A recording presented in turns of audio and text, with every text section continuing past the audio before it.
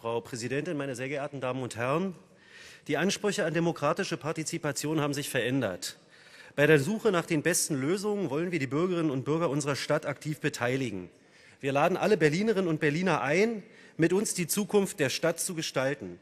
Wir werden Ihnen die Möglichkeit bieten, sich schon im Vorfeld von Entscheidungen aktiv einzubringen.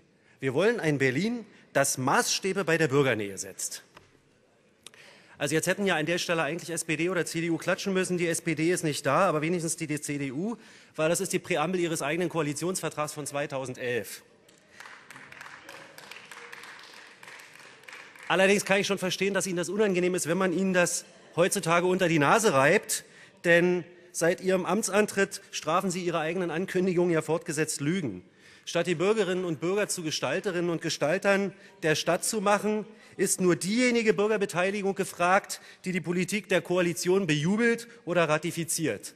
Stichworte, das haben die Kolleginnen Lomscher und Schmidberger heute Morgen in der Aktuellen Stunde bereits hervorgehoben, sind hier der Umgang des Senats mit dem Tempelhof-Volksentscheid, aber auch der Umgang des Senats mit dem Volksentscheid zu Neue Energie für Berlin, nicht zuletzt aber bei lokalen Stadtentwicklungsinitiativen. Also Stichwort äh, Kleingartenanlage Oeynhausen, Bukower Felder oder jetzt jüngst in Sachen Mauerpark. Meine Damen und Herren, gerade die beiden letzten Beispiele zeigen eindrucksvoll, wie der Senat eine Befugnis des Ausführungsgesetzes zum Baugesetzbuch nutzt, um ihm missliebige Interessen und Einwände offensiv gegen die Wand fahren zu lassen. Er schafft sich lästige Bürgerbeteiligung rechtsmissbräuchlich vom Hals, entzieht sich der Interessenauseinandersetzung und Konfliktdebatte, indem er die umstrittenen Projekte planungsrechtlich an sich zieht und damit auch an sich zulässige Bürgerbegehren leerlaufen lässt. Wir wollen das ändern, deswegen haben wir Ihnen heute einen Gesetzesentwurf vorgelegt zur Änderung des AG BauGB. Der Senat soll das zukünftig nicht mehr dürfen sobald ein Bürgerbegehren angemeldet ist und solange dessen Verfahren nicht beendet ist.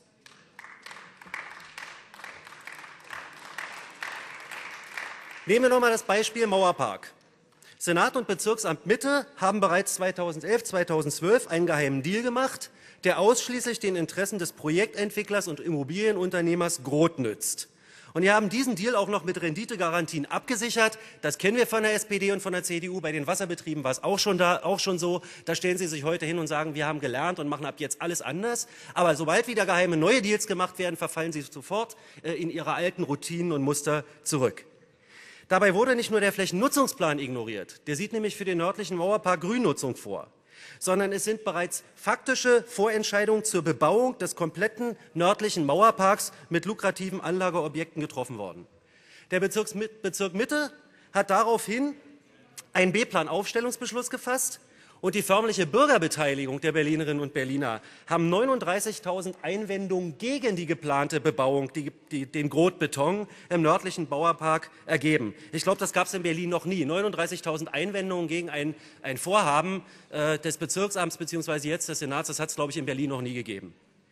Ein Bürgerbegehren wurde daraufhin gestartet von einer Initiative, und zwar mit dem Ziel, den nördlichen Mauerpark für die Grünnutzung zu erhalten.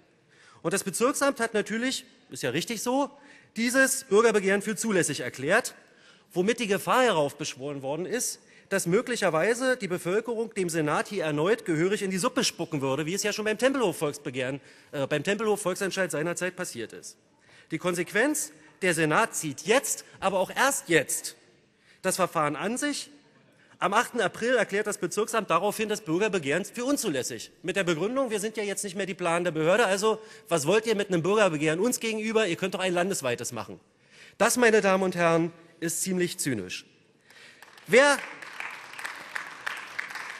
wer hat Angst vor Demokratie? Das fragte der SPD-Fraktionschef im Tagesspiegel, kurz bevor der Senat jüngst sämtliche Vorschläge für erleichterte Bürgerbeteiligung samt und sonders verworfen hatte. Meine Damen und Herren, um nicht falsch verstanden zu werden, das Baugesetzbuch weist der Kommune die Planungshoheit zu. Das ist Berlin. Und ich finde es trotz Differenzen im Einzelnen auch nicht falsch, dass das Land die Möglichkeit hat, zur Wahrung einer gesamtstädtischen Planung im Einzelfall anstelle der Bezirke B-Pläne aufzustellen. Und ich finde es ganz gut, wenn der Senator und die Staatssekretärin, die dafür zuständig sind, mir jetzt einfach mal zuhören. Herr Geisel, Frau Lüscher, ich rede über ein Thema, was Sie unmittelbar betrifft, Vorlagen, die Sie unmittelbar unterschrieben haben. Vielleicht sind Sie so respektvoll mir gegenüber und hören mir zu oder gehen raus, um zu reden. Diese Koalition, dieser Senat aber treffen hier keine nachvollziehbaren Entscheidungen, wann sie solche Verfahren an sich ziehen, sondern agieren willkürlich und rechtsmissbräuchlich und unter dem Deckmantel des Gemeinwohls. Die Legende lautet hier, wir bauen jetzt bezahlbaren Wohnraum, die kontroverse und die demokratische Entscheidung abzuschneiden. Sonst hätte doch der Senat in Sachen Michelangelo-Straße, wo Frau Lüscher erklärt hat, ziehen wir niemals an uns das Verfahren, wo die dreifache Zahl von Wohnungen gebaut die dreifache Zahl von Wohnungen gebaut werden soll, das Verfahren schon längst an sich ziehen müssen. Hat er aber nicht, weil es ihm darum auch nicht ging. Und wir wollen deswegen diesen Rechtsmissbrauch abstellen, dass zukünftig wenigstens die Bürgerbegehren bis zum Ende durchgeführt werden können, wenigstens die Bürgerbescheide bis zum Ende durchgeführt werden können. Und danach kann denn der Senat immer noch sagen, wir ziehen es an uns. Vielen Dank.